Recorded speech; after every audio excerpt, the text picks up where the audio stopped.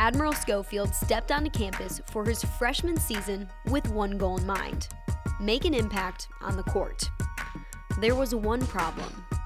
Coach Barnes told me I wouldn't play. The 6'4 forward's goal had to change. When he told me that I wouldn't even touch the floor, it kind of played with my mind. And since I need to get this down, I need to lose weight and show that show him that I care.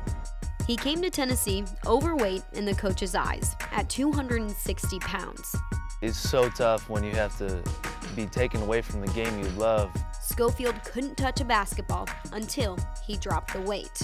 At first, it was it was very hard uh, because of getting up earlier than everybody, having to go work out, and having to stay later than everybody. You know, pretty much doing double than what everyone else was doing. But Schofield planned to come to UT overweight. Maybe a month or so before I got here, my dad really had me lifting a lot and trying to trying to beef up because he said it's better to be heavier when you go there because they're going to chisel you down, but you're going to still be strong. He didn't buy into a lifestyle change right away. Working with Admiral continuously, I was able to find what really motivated him. And it came down to he wants to be successful in the game of basketball. Once we figured that out, he, he was able to flip the script and, uh, you know, a lot of heart-to-heart -heart talks with them, making them understand that this is the way it's going to be. There's no other way until you do this.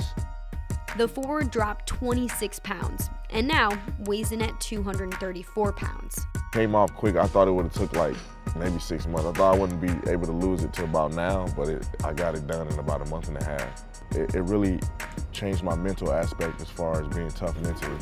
Um, it really motivated me to be better, and it just took my work ethic to another level. And kicks it off. Schofield, a three is good. He says he's happy he started off overweight because the muscle has allowed him to play the game his way. I try to be more aggressive because that's the type of person I am as far as playing on the court.